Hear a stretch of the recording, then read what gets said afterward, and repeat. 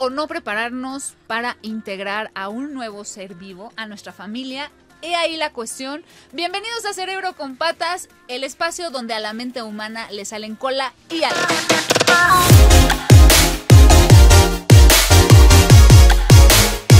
Eh, Aquí debe de ir la cortinilla de entrada, amigos. No Ah. sabemos si tenemos cortinilla de entrada o no, pero cortinilla de entrada, imagínense una música súper buenísima, Zoom. una animación así de lo mejor que hay en el mundo. Y pues, la estoy imaginando, la estoy imaginando. Está muy ¿tú, buena. tú, tú la estás imaginando. Me cuesta un montón de trabajo visualizar todo. Vale. Pues, bienvenidos a Cerebro con Patas. Tenemos aquí al poderosísimo Eric. ¿Qué tal? Eh, a toda la audiencia, muchas gracias este, Sandra por la invitación. Vamos a estar aquí de que es co-host.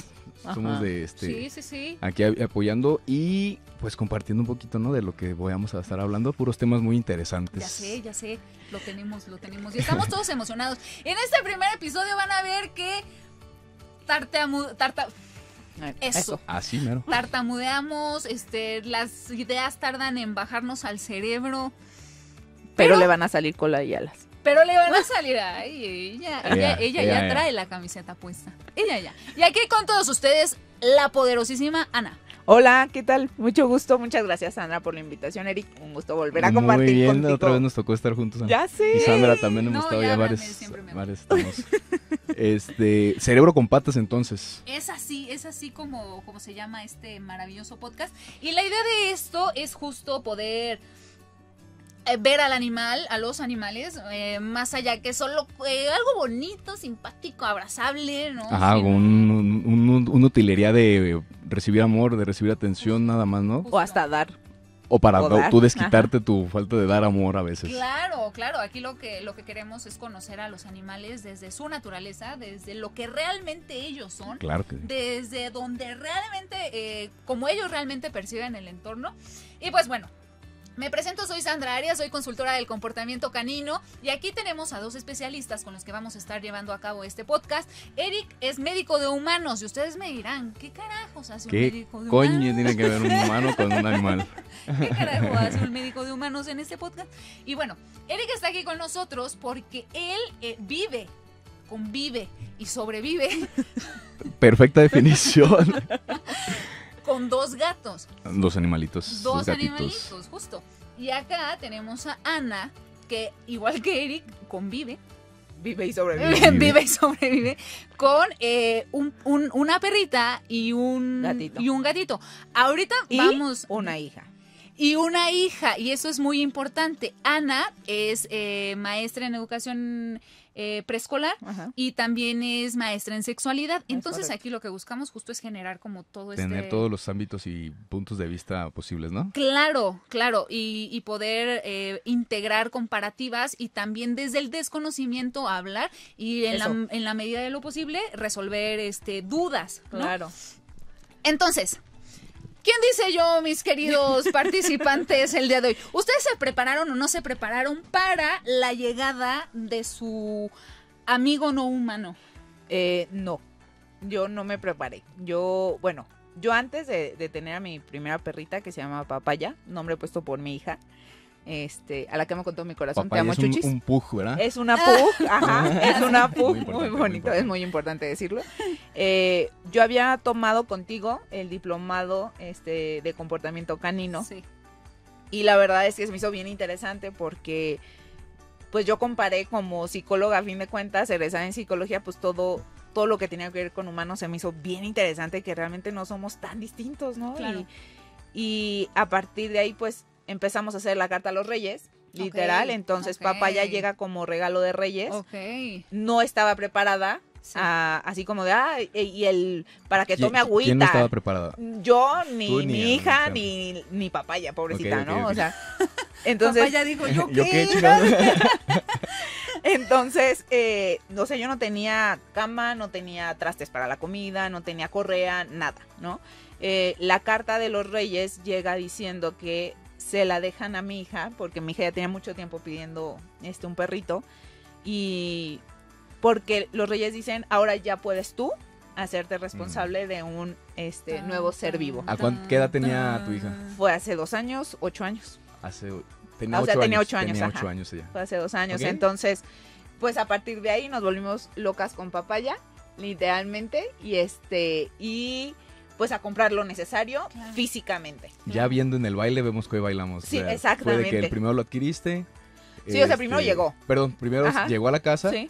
y ya en base a eso fue que te fuiste preparando. Ajá, así. Con lo básico, supongo que todos tenemos Sí. al principio como que alguna mascota desde la infancia en Exacto. casa. ¿Y qué es lo que vimos? Ah, sí, las croquetas, el agua y su casita. Camita. Antes Ajá. era mucho de que la casa de plástico Sí. así grande Sí, para sí, los perros así.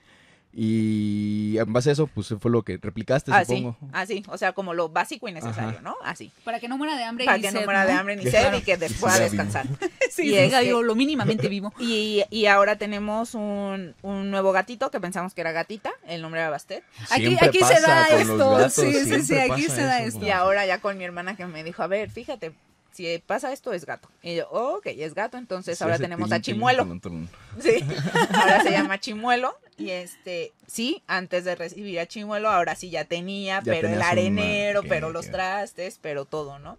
Pero no solo eso, también fue prepararme en educación.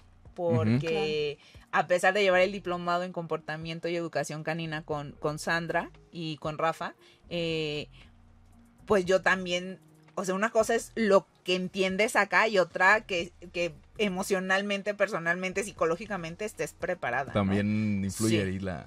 Sí, claro, pues es que mi hija y yo llevamos ya una dinámica de nosotras dos solas. Claro. Entonces, Eh, eso es importante. ¿Sabes sí, claro. qué? ¿Cuánto tiempo fue de que estuviste nada más con perro en lo que llegó este... Un año y medio. Un año y medio estuviste con puro perrito. sí. ¿Cambió mucho la dinámica cuando llegó Mm, Chimuelo? Lo que pasa es que creo yo que los gatos, y esto es hablando desde la ignorancia. Sí, no, nada más es este... con- Pero creo que los. De gatos se son, trata. son Ujú. más eh, como independientes, ¿no? Ok, sí, claro. Entonces no es como tanto yo. Que el perro que siempre está ahí contigo pegado Claro. O sea, por ejemplo, a papaya la tengo que sacar a pasear, ¿no? Y, y si no, pues tiene una energía o sea, impresionante. Eh, Bastet, Chimuelo, este, se nos quedó. Ex-Bastet. Ajá, este, Chimuelo no. Chimuelo es más de estar con nosotras y, y como las caricias. Eh, yo por eso amo y- los gatos. Así, ¿no? Entonces, Pero toda la vida Bueno, también tuviste perros, pero. Ajá. y contigo, ahorita ¿cómo vamos- fue? ahorita ¿Cómo vamos a fue eso. contigo, Eric? O sea, tú sí estás Pues preparado. mira, en mi casa siempre fue una educación de que los gatos son del diablo, aquí no queremos los gatos, los gatos son ¿En malos, los serio? gatos, no del diablo así como tal de Pues es que sí lo creería. crucificarlo, que no hubiera sido tan extraño, pero siempre fue como que de parte de mis papás en- cuando estábamos este niños, siempre era de que mm, gatos no y golpealo, patealo, Ok, lánzalo para No lejos de aquí. qué interesante. Y es, este, aviéntalo, que no se te acerque, guácala a los gatos, ay, qué asco los gatos y todo eso. Oh. Yo crecí ¿Eres nada más acaso con la perros. oveja negra de? Yo, no, yo más queriendo buscar la forma de llevarla contraria. siempre fue una crianza con perros. Siempre tuvimos mascota de este, un perro. Pero, ajá, pues yo creo que antes había nula educación al respecto Claro. de qué tipo de responsabilidad representa el tener una mascota en casa. Ya de que enciérralo y te acuerdas, ponle comida. Claro. O también llegamos a cometer el ahora crimen de abandonar el perro en la, en la azotea. Que nada más nosotros subíamos a verlo y ya luego se nos olvidaba el perro. O sea, pues yo de niño no me acuerdo así de Claro. la comida o no lo he visto. O tendrá limpiarle o cosas así. O sacarlo a pasear, cómo se sentirá. Porque pues no, no, no había esa educación Claro. como tal. Es verdad. Entonces, conforme fuimos creciendo, como que también fue aumentando el, este tipo de responsabilidades que se adquieren con la mascota y un poquito más de educación y humanismo, yo creo también de parte de toda la familia. Y al grado de que ahora mis papás tienen una chihuahua que la traen como de Lo máximo. Katy Perry, yo creo. que- como trae esas sus chihuahuitas así que les compran sus este collarcitos Sí. y su suétercito La y la traen pegada aquí en todos Sí. lados Sí, y sí, sí. transportadora para todos lados, casi Sí. casi que ya le sacan la- el pasaporte. Entonces sí dices, wow, cómo está de Perro de asistencia, su chalequito de perro de sí, sí, sí, asistencia. sí, sí. cómo se ha cambiado. Pero además viene, o sea, nos conocemos y sé que viviste solo, Ajá. o sea, te fuiste a vivir solo. Sí, sí, sí, me, me, pues estuve viviendo solo prácticamente desde los 18 años Exacto. que me salía a Ay, estudiar. Chiquitín. Era una cosita muy chiquita. Ancinita. Ancina de pequeña. Invoquemos a don Silverio. Y este, y eh, pues eh, ya, ya representaba como una responsabilidad muy grande el tener una mascota Claro. para mí. Claro. Entonces dije, no puedo yo como un estudiante viviendo de foráneo darme el lujo de no comer yo para que coma mi perro Claro. o tener a un, mal- a un perro mal cuidado. Claro. Entonces fue así como que ni de chiste. Pero sí pensaste en perro. Sí, claro, no, no era opción nada. Ninguna otra cosa era este, opción. teníamos de repente los guppies, el beta, el, Ajá, ajá, los pececitos en peceras chiquitas. Pero pues eso y nada es velos y ahí están y darles de comer de repente. Claro. no tienes una convivencia como tal con, los, con los peces. Claro. Y eh, justamente durante la carrera, estudiando este pues medicina, eh, un amigo tenía en su departamento un gato Ok. que era de familia. Mm. Y ahí fue cuando tuve mi contacto. No soy muy de... Perdón, ¿familia a qué te refieres? ¿Que era de familia? O sea, que por él vivía, generaciones él vivía habían tenido con gatos. papá, mamá eh, y Ah, este, dos hijos. ok, Eran dos hijos. eh, era mi amigo, su hermano menor y los papás. Ok. Eh, ahí tenían un gato. Entonces eh, era, era la mascota única, todo se estaba como que él y lo dejaban libre en toda la casa. Eh, por suerte, pues nunca me ha tocado como que un gato ni un perro agresivo, como que me haya tenido una mala impresión de primer impacto. Y me encariñé mucho con el pinche gatillo. Entonces me, me- me gustó mucho y dije, ¿por qué, ¿por qué me privaron de esta felicidad toda mi vida? Claro. ¡Me odian! Y, y bien calladito y no estar delatoso. Sí, y claro. claro que los perros los quiero un montón también, Sí. pero ya pensando algo adecuado a, a mis posibilidades, Sí. dije un gato hogareño creo que es la opción para yo tener este como mascota en un futuro, cuando Ajá. yo tuve el contacto principal. Con, con gatos. Ahí lo decidiste. Ahí dije, Si voy a tener un animal de compañía. si va me gustaría tener un animal, una mascota, sería un gato. Definitivamente, porque el perro sí hay que tenerle espacio, ahí sí hay que tenerle Claro. paciencia, más tiempo para llevarlo a pasear, Sí, para Claro. todo eso. Em, pasaron los años, ya cuando, este, ya titulado, ya cuando, ya cuando conseguí trabajo, que ya podía como que responsabilizarme de ese aspecto de una mascota. Igual, me dieron, estaba este, buscando en las páginas estas de Facebook donde hay este, gatos de adopción Sí. o todo eso. Sí, sí. Y dije, estoy buscando una este, gatita blanca, Gatita. una gatita Maldita sea. que le guste el mambo. una gatita que le guste el mambo. Y me dicen, no, que sí tenemos una gatita y que este ya va a cumplir los cuatro o cinco meses. Creo que es lo, lo ideal como para dar una opción. Ujú. No sé, Sandra, y corrígeme más o menos. Te corrijo. Este. Gracias. Y. Total, voy, voy por ella. Me dice, sí, no, gatita. Y ya come croquetas. Y ya la vimos hacer en la arena. Entonces, pues todo en orden. Ah, ok. Eh, enamoradísimo. No, Enamoradísimo qué del bonito, animal. Qué sí, cosa qué tan cosa bonita. tan bonita. Pero si te preparaste tú antes igual. O Sí, sea, no, sí, hombre, Sí, claro. me dio una super Sí, preparada, me acerqué mucho con Sandra también, digo, oye, y fíjate, y, y- Claro. y largas conversaciones tuvimos de que, oye, ahora fíjate que esto, y mandábamos acá videos y todo el rollo. De hecho, Eric tiene, para que lo sepan, o sea, tiene todo el juego para sus gatos. Ya o sea, de verdad es, es alguien que sí Se sí- sí preparó preparó para tener un gato. Pues sí, o sea, Sí. sí, sí fue de este. Investigaste. Empecé, fíjate, soy tan, tal vez es por ansioso, pero primero, primero quise tener plantas, algún ser vivo que vaya a ser de mi ¡Qué responsabilidad. no se te vaya a morir. responsable! Que pudiera ser como una macetita de, de siempre viva, la planta que menos tienes que pelar en la vida. Siempre viva. O no me acuerdo cómo se llaman No sé, estas, yo no sé que son como, son, o sea, se venden macetas sí. muy pequeñas, que son como que, este, hojas Como muy gorditas, tallos muy gordos, como Anda, suculentas. suculentas, Ah, sí, sí, Es que allá en mi rancho le dicen siempre vivo. Eran suculentas, ese es el nombre este, Ok. real. Y dije, no hay pierde. O sea, Ok. es una, una siempre, una suculenta. Y se me moría la pinche. Ay, maldita sea, a mí se me ahogó. Bueno, no se ahogan solas, la ahogué. Pero... Se ahogó sola, le brincó a la alberca. Sí, se ahogó. Sí, La yo no ahogué, tengo ajá, plantas. sí, efectivamente la ahogué. Entonces perseveré, perseveré. Hasta que tuve ya mi, mi primera planta cuidada. Ah, súper Y ya chido. empecé a tener dos, tres, cuatro, cinco. Me gustó mucho eso. Claro. Y dije, ya estoy listo para un gato. Le pongo agua.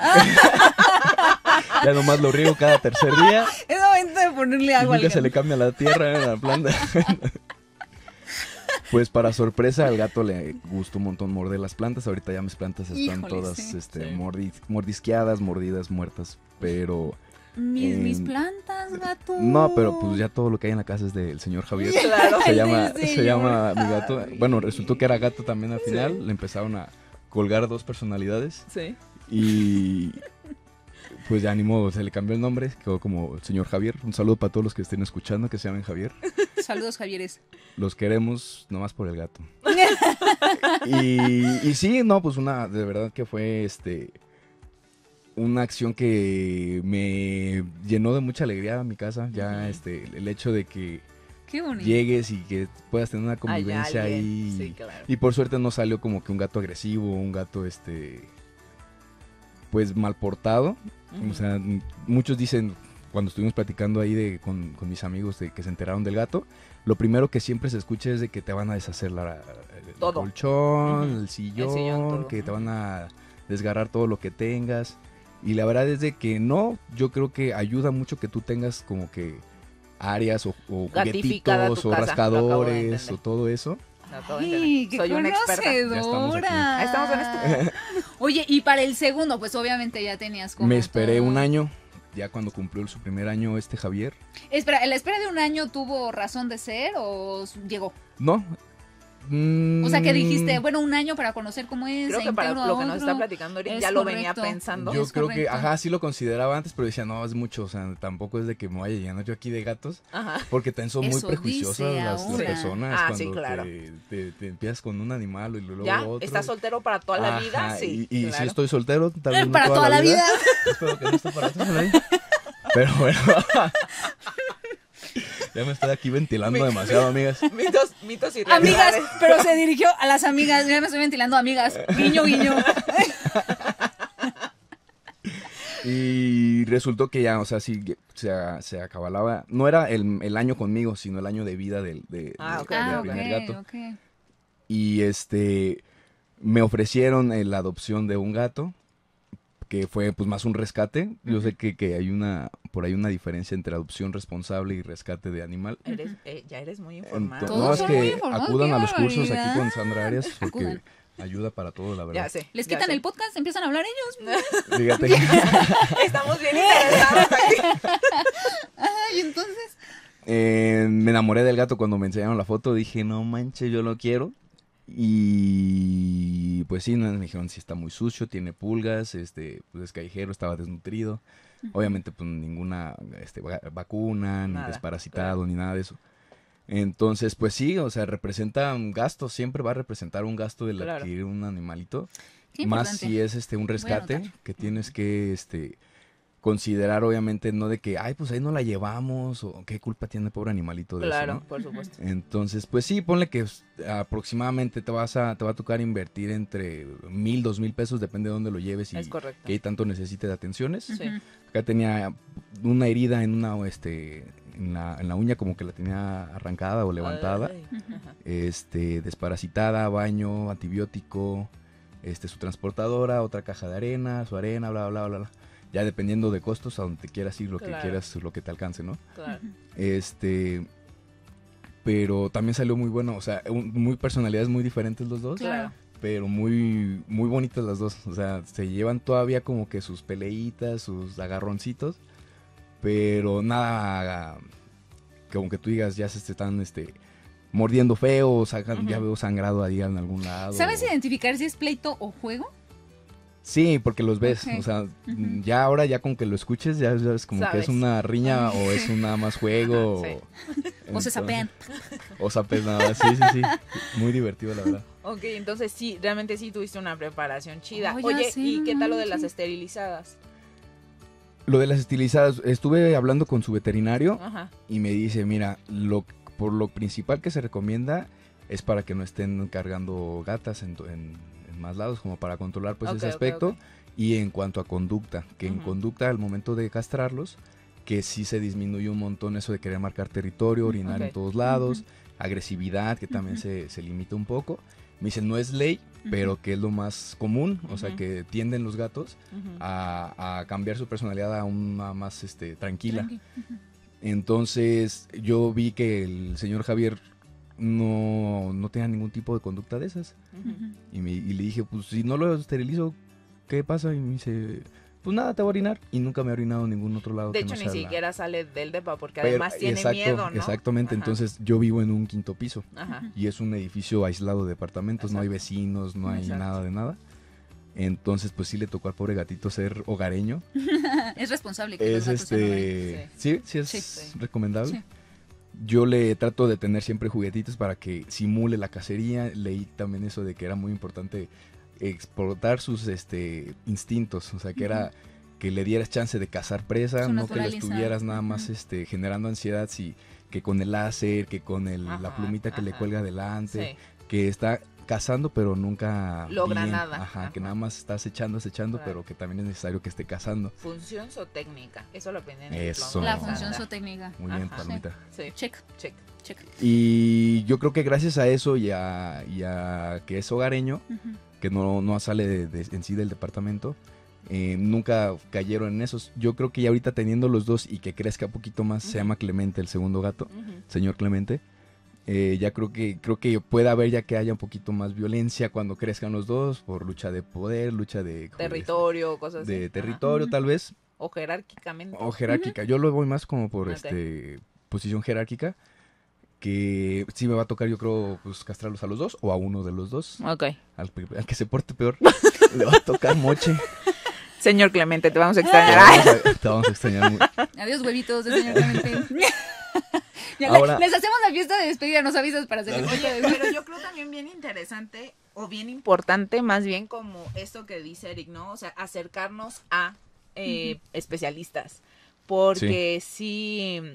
o sea, yo como lo veo es, no pues nada más es tener otro ser en la casa, Claro. ¿no? Sino de verdad la responsabilidad Sí, que claro. conlleva, además del dinero, que sí es una lana importante, el estar al pendiente de los baños, vacunas, este, desparasitadas, este, despulgadas, o como se les diga Los premios, cortar la los uña, premios, este, el, el tiempo con ellos, ¿sabes? O sea, sí, sí implica una responsabilidad grande, pero además sí acercarte pues con gente profesional, Sí, claro. este, certificada, que es muy importante para mí, eh, porque todo el mundo tiene opiniones, Claro. todo el mundo, de, ah, no, es que a mí me pasó, Y esa es la absoluta verdad. ajá, ¿no? No, es que con, conmigo pasó de esta manera, conmigo no sé qué, entonces eh, yo igual que tú tuve la fortuna pues de estar con Sandra y, y la verdad es que no y la verdad es que Yo no lejos estoy diciendo nada, ustedes están viendo. sí o sea lejos de todo y de que te amo con todo mi corazón sí creo que eres la mejor en Ah, este gracias. aspecto y que Y la única. Y la única este de- también este, también un montón de, de agradecimiento a Rafa. Yo Claro. también porque Rafa también me explicó un montón de cosas que pues yo no conocía no y y el diplomado en general creo que a mí me abrió la cabeza en todos los aspectos. Pero fíjense que creo que lo, lo, lo importante, además de mí, es que lo importante eh, eh, en esto es que, y, y de- bueno, en esto yo quiero hacer énfasis, ¿no? Solemos ya que conocemos un poco, eh, señalar a quienes no lo hacen. ¿No? Eh, pongo, pongo el ejemplo de mi historia, que el primer perro que yo tuve ya en pleno uso de mis facultades mentales, que eso fue como hasta mis 25 años. Que, eh, fue a, a mis 19 años adopto al señor Orejas eh, y el señor Orejas es este el perro de mi vida, ¿no? O sea, quien me conoce top, ¿no? Sí, sí, o sí. sea, es un, es un perro salchichón, Dutch Hound. No me Dutch Hound, por favor, a ver. es, es de- era, era un perro salchicha, falleció, no recuerdo hace cuántos años, creo que dos Dos años, o un año. Eh, me da gusto no saber gusto. Porque fue un dolor Claro. muy fuerte, pero además eso también significa que no estoy clavada Claro. viendo el aniversario luctuoso, Sí, ¿no? claro. Eh, pero bueno, cuando él llega a mi casa, yo era también estudiante y nada que me preparé para... ¿Cómo lo, cómo lo adquiriste? Eh, en ese momento, en esos ayeres, eh, estaba Messenger. Messenger. Ajá, me sé. Messenger. Sí, ¿a ti Sí. te tocó Messenger? Sí, claro. Entonces... Sí, eh, Los eh, zumbidos, Exacto, el exacto. globito que te aventaban de agua. Sí, claro. Ajá. Y entonces ahí estaba, eh, bueno, tenía varios amigos, bueno, conocidos de la universidad y una persona que, eh, ¿De la no, de la uni? uni, Ah. una persona que se llama Wendy, a la cual amo con el corazón, que también tiene un programa de radio aquí en el sistema para que lo escuchen todos los sábados. Saludos. Este, ella em, publicó, estoy en su estado, ya ven que aparecía Ajá. el nombre y un Sí, estado. Sí, sí, sí. En el estado puso, estoy dando en adopción a un perro salchicha. Y entonces dije, no, dijo un perro, no dijo que Un era perro. salchicha. Y entonces dije, yo lo necesito, maldita sea, nos faltan cinco minutos. Entonces, este, bueno, yo lo, yo lo quiero, lo acepto en mi vida. Lo veo y me parece la cosa más espantosa. Eso es real. Lo veo y dije, ¿qué clase de perro es esto? ¿Y este animal? Y este animal, porque aparte, este es otro tema para ponerlo, las proyecciones que tenemos Ah, en claro. la cabeza Uy, que reflejamos en los perros. Anótenlo en el grupo Sí. de cerebro con patas porque se nos va a ir la onda. Entonces, Apuntado, este, apuntado, apuntado. Sí, entonces, eh, así es como yo empiezo a, a convivir con él, pero en realidad la, mi tenencia era muy irresponsable. ¿Sabes? O sea, lo amaba con el corazón, lo amaba con todo mi corazón, pero mi tenencia era muy irresponsable. Hasta tiempo después que empecé a aprender sobre perros, eh, fue Te que diste me cuenta di de toda tu cuenta, hazaña. claro, o sea que mis perros vivían verdaderamente estresados y todo. Entonces creo que aquí lo, lo importante o con lo que me gustaría quedarme de este episodio es que si ya tenemos conocimiento comprobado, Es correcto. no empírico, que también lo empírico llega, Sabe, es válido, es claro, válido. llega a servir Claro. bastante, ¿no? Pero si nos acercamos a algún especialista, si nos acercamos a eh, artículos científicos, no, no de lo que yo creo, sino de lo que es, Está estudiado. exacto, podemos darle una mejor calidad de vida a nuestros, a, a los animales que Claro. conviven con nosotros, ¿no? A los Claro. animales no humanos que, que se encuentran de- dentro de nuestra casa, porque al final de cuentas, ellos no decidieron llegar a nuestra casa. Claro. Quien levantó el dedo dijo, tú te vienes los conmigo, exacto. Secuestradores. Así es, y entonces automáticamente nos volvemos en alguien súper responsable para darles la mejor calidad de vida. Algo que quieran decir, compañeros, Pues muchas para gracias. finalizar. Muchas gracias por este, este, este espacio. Eh, esperemos que les haya gustado a toda la audiencia que nos está escuchando. Eh, Eric, tienes Nada un más. podcast donde te seguimos, donde te escuchamos. tenemos, ah, sí, este, síganos en La Voz de la Ignorancia, se llama el podcast. Tenemos un episodio cada semana. Eh, está como Voz Ignorante en Instagram, arroba Voz Ignorante, y La Voz de la Ignorancia en Facebook y en Y el personal, y el personal para las fans. Y arroba Ermasagu. No, muchas Herma gracias. con sin H. Er-. E-R-M-A Sagu. Ándale, muy bien. Ajá. ¿Y tú, Aniux? Yo estoy en Instagram como Ana G. Arias G. Y Facebook, Ana Arias, soy sexóloga y me dedico a dar este, terapias de acompañamiento personal y en pareja. Eh, yo me quedo con que en realidad el que ignores no te exime, ¿no? O sea, creo que La responsabilidad es investigar. es investigar, Claro. sí. O sea, puedes no saberlo, pero creo que las personas que estamos decidiendo desde la adultez no nos exime no saberlo. Exacto. O sea, ya podemos Sí. buscar, ¿no? La manera. De niños y todo, cuando era diferente, pues nosotros no decidíamos. Es más Claro. válido. Qué buena Entonces, conclusión. ¿Cuál es tu Así. conclusión, Eric? Mi En conclusión un minuto, o sea, 30 Mi segundos. conclusión es de que no se, este, no se precipiten al momento de querer tener una- un animal en casa. 10 de 10. Hagan una buena evaluación, Por hagan una buena meditación al respecto y adelante. O sea, mientras tengas amor para dar, yo creo que es lo más importante Mm. y cuida todos los demás aspectos. Es correcto, amigos. Pues no se pierdan el siguiente capítulo de Cerebro con Patas, donde a la mente humana le salen cola y alas. Gracias, Nos David. vemos. Gracias, Jessy. Gracias. Bye.